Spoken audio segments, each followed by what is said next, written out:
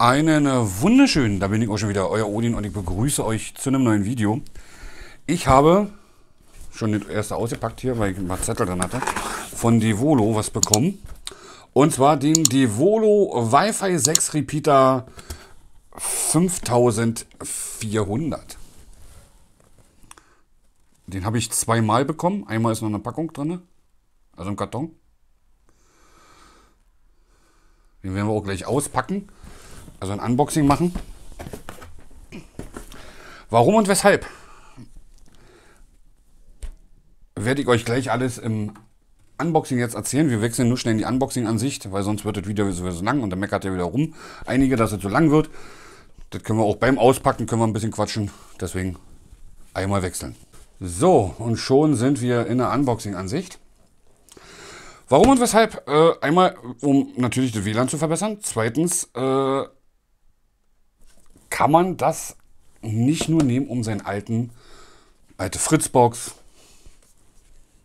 Speedlink oder wie die heißen von, von, von Telekom, um das WLAN da zu verbessern, ähm, also auf Wi-Fi 6, 6 zu kommen. Nein, ihr könnt zwei davon auch miteinander kombinieren. Also nicht einfach weiterleiten, meine ich jetzt damit. Nein, im Mesh-Netz benutzen. Also praktisch das eins stellt ihr neben euren Router mit LAN-Kabel an den Router anschließen und das andere dann im Wohnzimmer oder wo ihr gerade braucht, um euer WLAN zu verstärken.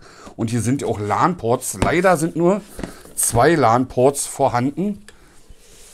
Nicht so wie damals bei der Gigagate, wo es halt äh, fünf LAN-Ports waren.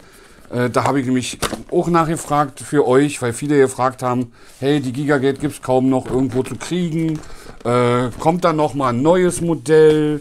Wird es geupdatet? Was ist da der was ist da Phase? Jetzt aber. Leider gibt es die Gigagate nicht mehr. Also wird auch nicht mehr hergestellt, soweit ich das mitgekriegt habe. Ähm, es ist auch nicht in Planung, dass da ein neues Modell kommt.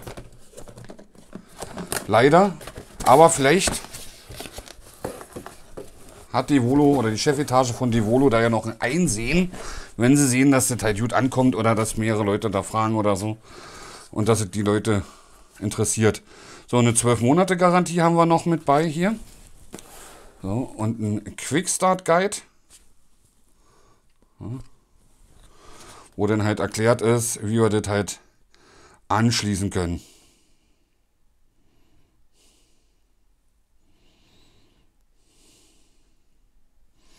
Die Volo HomeNets App. Ja. Also über die App und dann muss man dann halt hier sagen, mit welchem Router man verbunden werden soll oder will. Da. Und dann haben wir hier noch B1, B2, B3. Und dann hier beim Router die WBS-Taste drücken. Und hier kann man dann verbinden.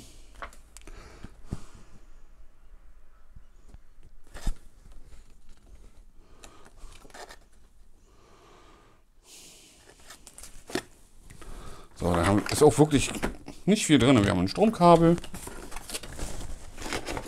Weil es ja für ah, Mesh ausgelegt ist. Hier drunter ist jetzt wirklich nichts weiter drin.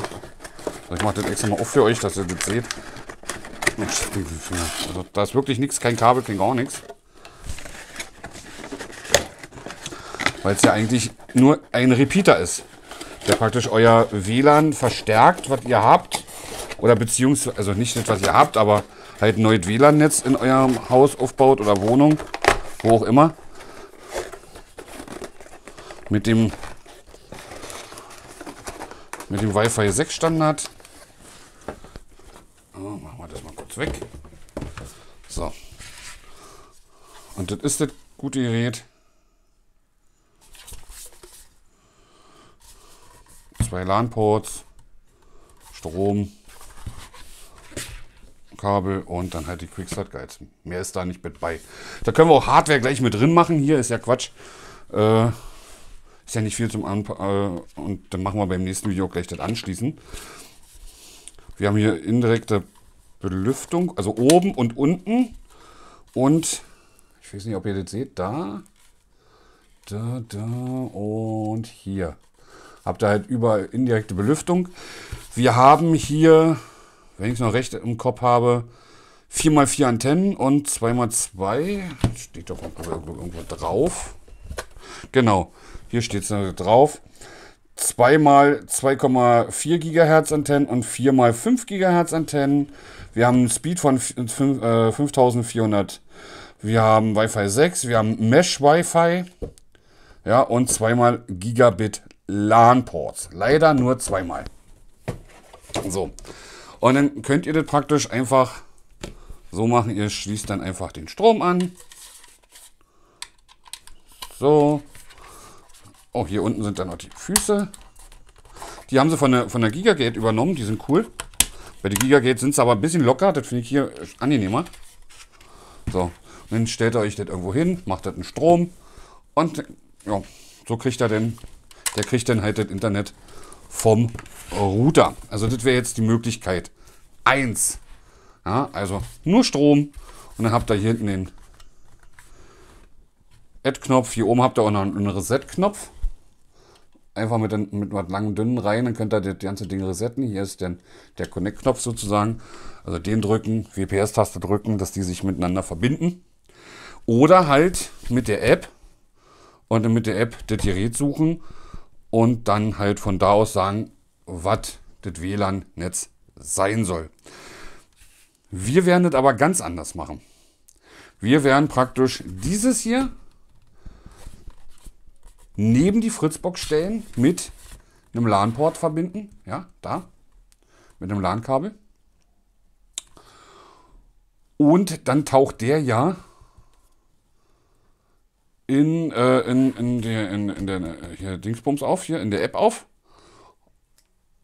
Wenn wir halt praktisch der zweite scannen und sagen, womit willst du verbunden werden, ja, dann hast du hier hinten dann praktisch, zeig euch das mal, ich muss das mal zuhalten, habt ihr da praktisch den Strichcode, den scannt ihr in der App und dann könnt ihr euch mit dem, dann ist der dann praktisch in eurem, äh, in eurer App drinne und dann fragt er natürlich, mit welchen soll der denn mit dem WLAN verbunden werden?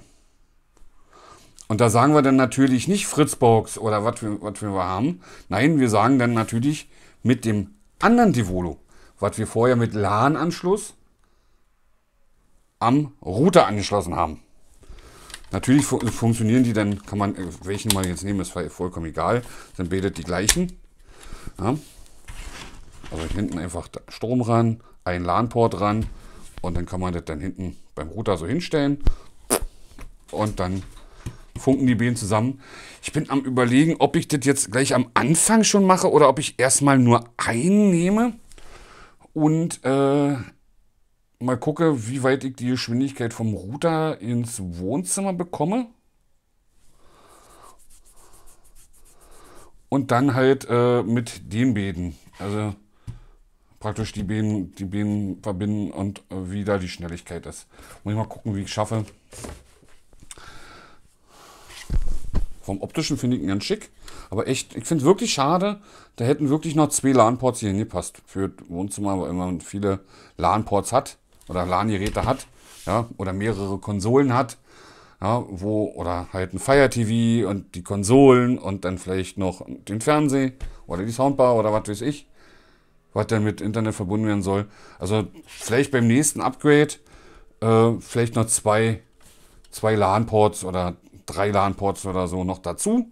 Dann werdet noch natürlich noch ein bisschen besser.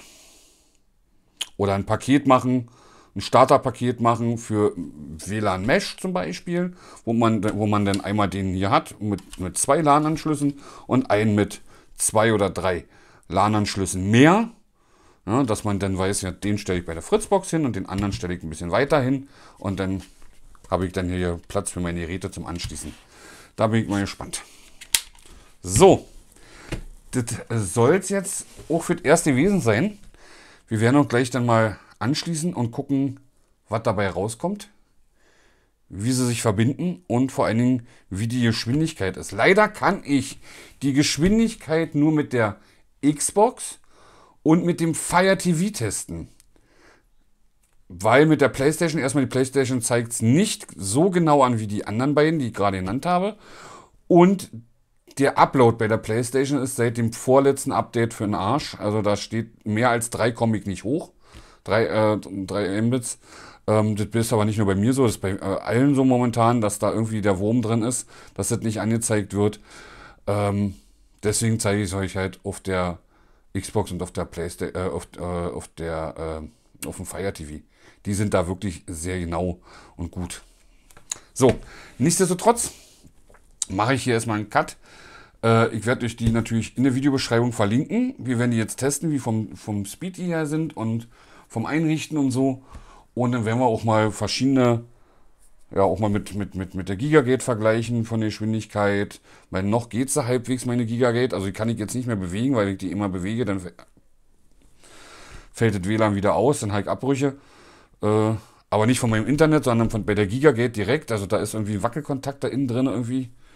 Ähm, ich weiß nicht, die ist auch schon ein paar Jahre alt. Aber soweit wir machen können, machen wir da was. Und vergleichen auch mit dem, mit dem von Netgear, das äh, werden wir auch mal vergleichen und so. Und dann am Ende mache ich dann auch noch ein Fazitvideo, für wen welche, welches Produkt wohl am besten geeignet ist und warum und weshalb. So, aber jetzt bin ich erstmal weg. Wie gesagt, Däumchen wären Träumchen. Wenn ihr Fragen habt, in die Kommentare. Bis zum nächsten Mal. Ahoi, sagt euer Odin.